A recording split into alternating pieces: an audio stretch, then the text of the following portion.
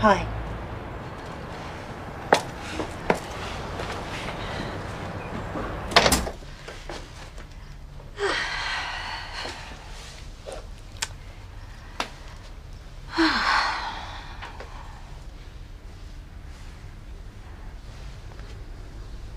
Shit. Oh. Hello? Right, so thing is, what size knickers does your mum wear?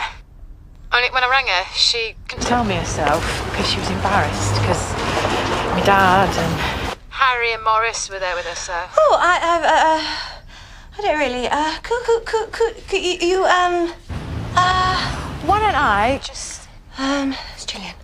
just buy a few different sorts and a few different sizes, Wants to know what size knickers my mother wears. and then any that aren't suitable, I can just take back. They'll be fine with that, won't they? Yeah. If they're unopened. Y- y- yeah. Yeah, of course they will. Good idea. Okay, sorry to bother you. No problem. Thank you. Ta-da. I owe you one. Bye. Bye. What?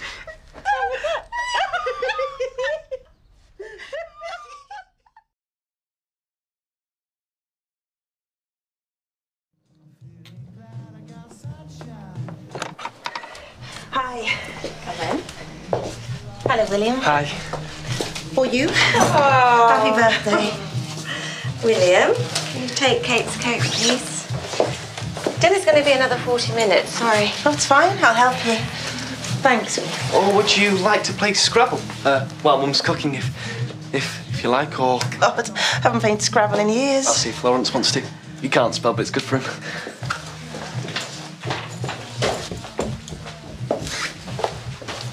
Told him he knows. He's been brilliant about it. I've not told Lawrence. I'm just waiting for the right kind of Yeah. uh, moment. Okay.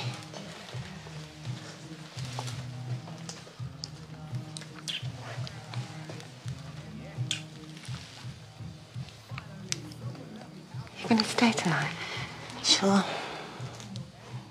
Is John not? Oh, I haven't a clue where John is.